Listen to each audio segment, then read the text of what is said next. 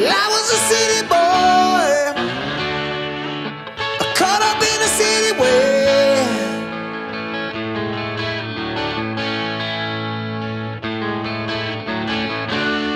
A nitty gritty boy was out all night and always getting blown away.